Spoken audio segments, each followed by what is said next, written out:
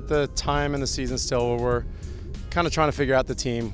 We spent some time last week really just focusing on the fundamentals. We had an inter squad scrimmage on Saturday that showed us, um, and we were tinkering with our, our shape.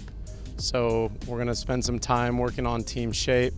Uh, we're going to just try to put the pieces of the puzzle together. Which players are best suited for which positions, who plays best next to the next person, and use our, our scrimmage, our exhibition game as our last warm up before they start counting on August 18th.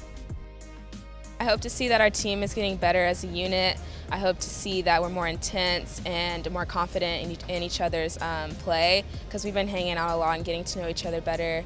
And yeah, and it will carry on the field and we'll be connecting passes and doing much better.